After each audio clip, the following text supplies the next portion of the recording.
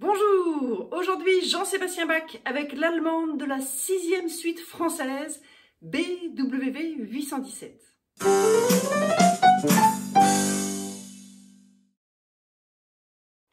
Je suis Dorothée Hurel, je suis musicienne, pianiste, harpiste, concertiste et pédagogue.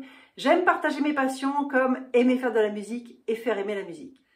Dans cette vidéo, vous allez entendre cette très jolie pièce volubile qui représente l'un des aspects de la musique de Bach que j'apprécie particulièrement, qui contient de la légèreté, de la grâce, de la simplicité, mais dans une complexité d'écriture qui me permettra aujourd'hui d'utiliser ce mot que j'aime beaucoup, la simplexité.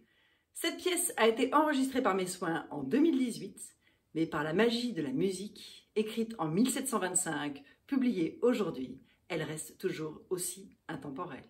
Alors, à bientôt sur cette chaîne. Vous pouvez vous abonner, laisser un pouce, laisser un commentaire ou partager cette vidéo si cette musique vous a plu. Je vous laisse en bonne compagnie. À tout de suite.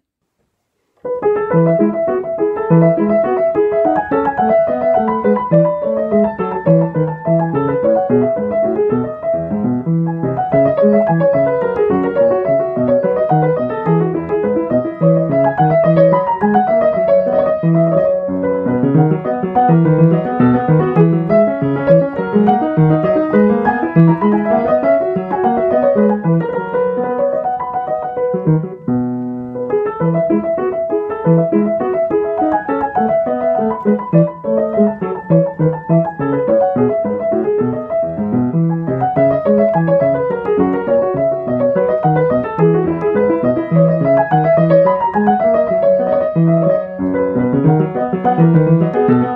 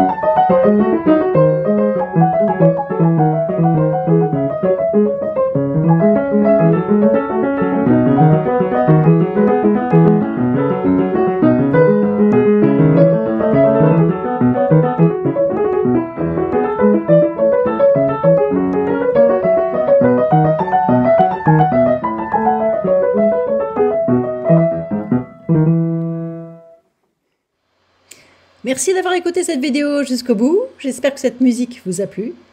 Et je vous dis à bientôt sur Piano Vidéo.